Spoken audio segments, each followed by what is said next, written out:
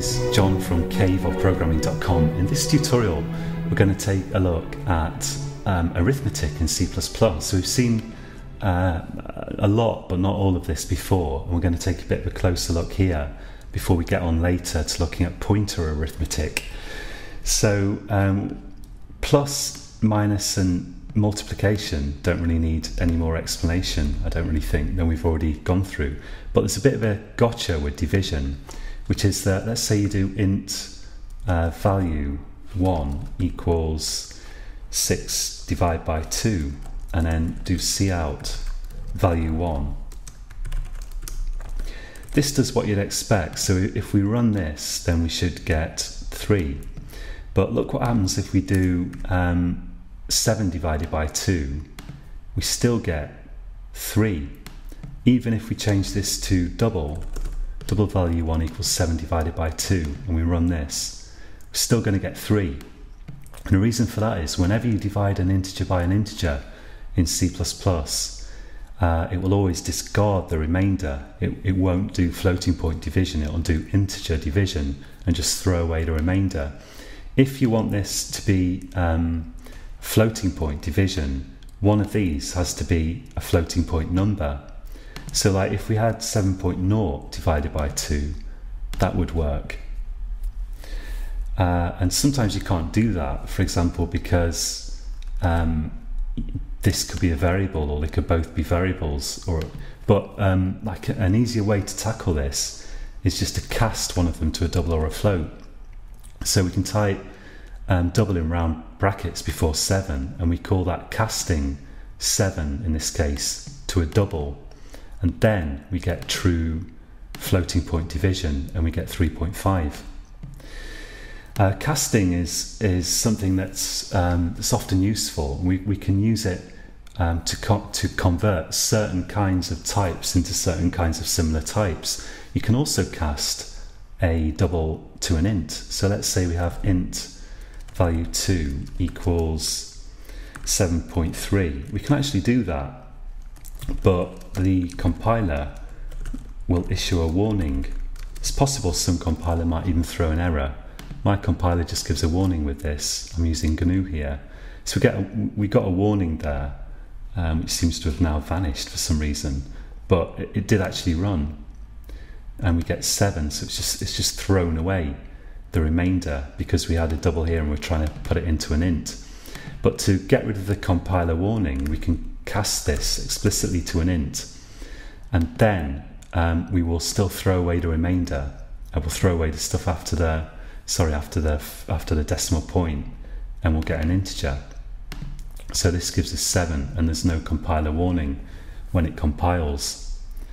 Uh, so we've got this here yeah, that's just saying that's from something earlier by the looks of it. That's a different project. Okay, so there's no warning here. Uh, so this won't do rounding. It won't round up or down. All it does is throw away the stuff after the after the decimal point. If you want to do rounding, you'll have to use a spe special maths function to do that. Um, we've also got a bunch of operators like this plus equals, minus equals, divide equals, times equals, and also mod equals. Uh, and we'll look at mod shortly. But let's take the simplest uh, version of this. Let's say we've got int value 3 equals, let's say 8.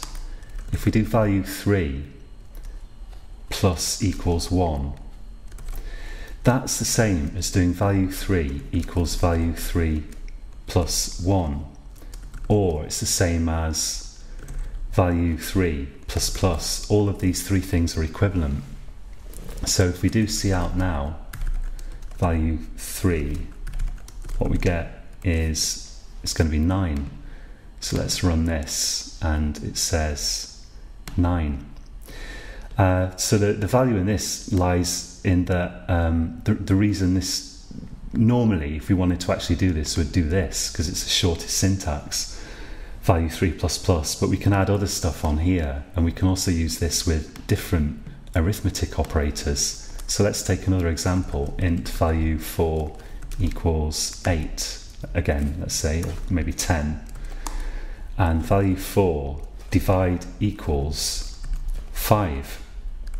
that's the same as doing value 4 equals value 4 divide by 5. So these um, divide equals, multiply equals, plus equals, negative equals, they're, they're the same as these expressions, these kinds of expressions. They just avoid you having to repeat the variable.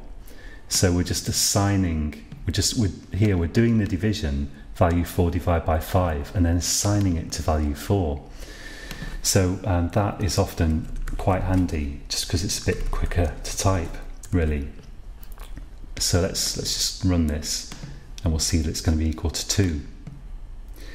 Um, the mod operator is another thing that I want to show you. And again, this is very, very useful uh, for various reasons, um, some of which we'll probably see later on in, these, in this tutorial series. What mod does is it does integer division and then gives you just the remainder.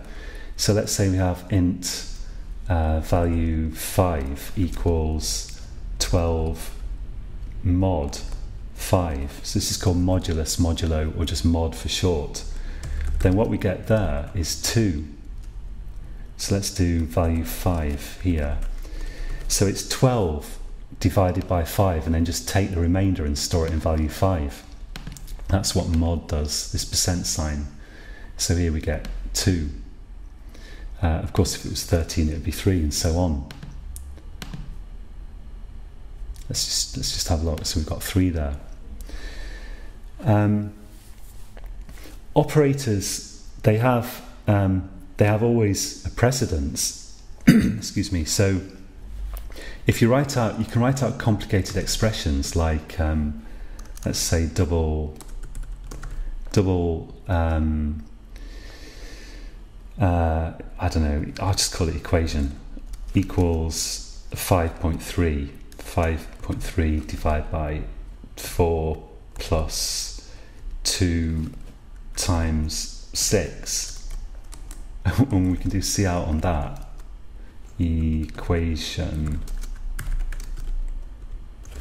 And uh, C++ will figure out the meaning of, of this um, because certain operators have higher precedence than others. So in this case, uh, division and multiplication have a higher precedence than plus, which means that they will be done first.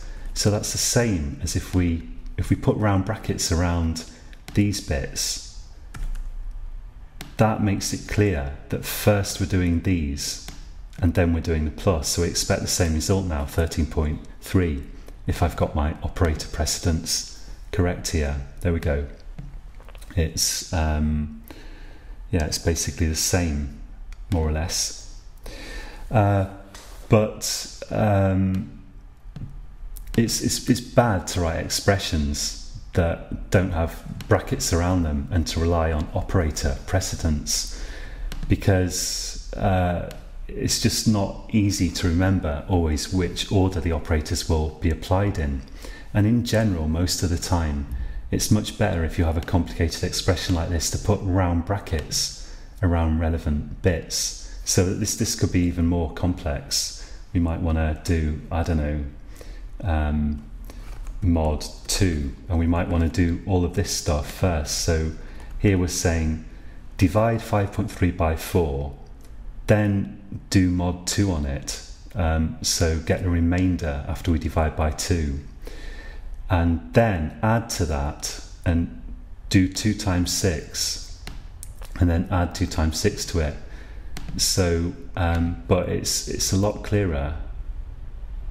Oh, we've got a problem there because we're applying mod to a floating point. Let's do something like um, 5. And I'll change this to a double just so that we have um, a double result. Let's try building that, see if that works. Build project and run. So it's always much better, better to put brackets in, even if they have to be nested. Nested brackets are not very readable, but they're a lot more readable than if we had the same expression without the brackets. So with the brackets, we can see, okay, first we've got to do that, then we've got to do that, and we, we've also got to do this, and then we can add those two things together. But if we had that without the brackets, it would look like this, which, um, yeah, for me is uh, is getting to be really quite unreadable because I'm not really sure um, which has precedence, division or mod. Um, I know that multiplication and division have precedence over plus, but it's getting ridiculous now. So don't do this. Always put round brackets in to make your expressions more readable. So I think that's everything that I want to cover in this tutorial. I'm going to give you a couple of exercises to help you to help get this into your mind. Um, one is um, take a large number of seconds, like more than several hours, and convert it to hours, minutes, and seconds. So you can do that in various ways using a combination of, um, of arithmetical operators used judiciously.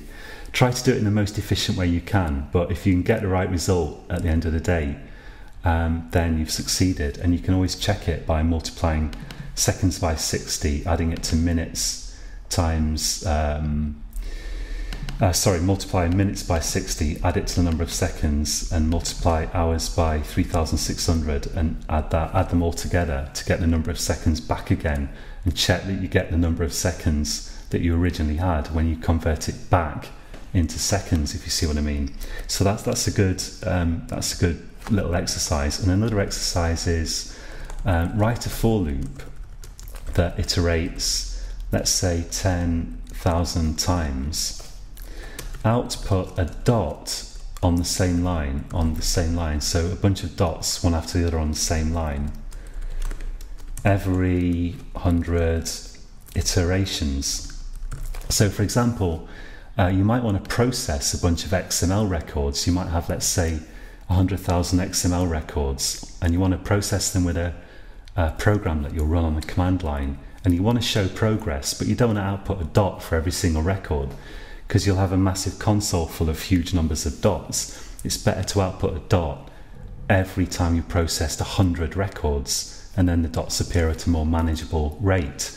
And to do that, you can use the mod operator. So um,